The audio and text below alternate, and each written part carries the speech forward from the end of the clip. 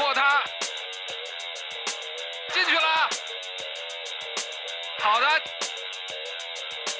亚昆塔，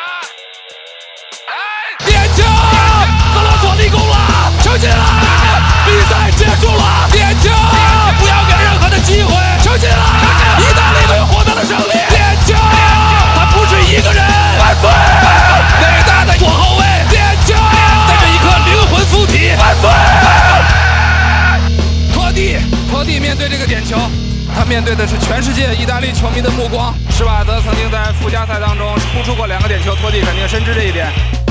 他还能够微笑着面对他面前的这个人吗？十秒钟以后，他会是怎样的表情？这个点球是一个绝对理论上的绝杀，意大利队进入了八强，胜利属于意大利，属于格罗索，属于卡纳瓦罗，属于布冯，属于马尔蒂尼，属于所有热爱意大利足球的。他们没有再一次倒在希丁克的球